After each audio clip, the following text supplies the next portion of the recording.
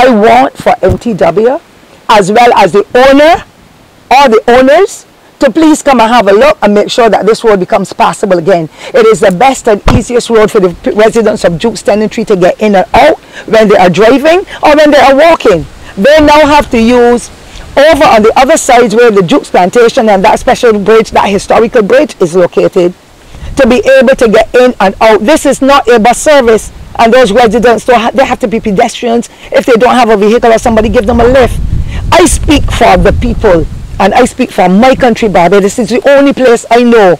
And in the same way, other countries are following procedures and following the rules and regulations. I believe it is time that somebody now should be charged in a court of law for making this kind of nuisance and this kind of dislocation in this parish.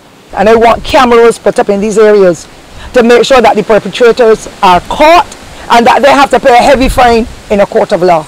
And therefore, this is not a good New, New Year message, but I want to thank those Barbadians who have remained law-abiding, who have continued to live within the law and do the best to preserve this little country, Barbados. This is all we have. And therefore, I thank them and wish all Barbadians a happy, blessed, and prosperous new year. And let them work with us. When they see these perpetrators, take the pictures and let the media have them, let the police have them, so that they can be brought to justice.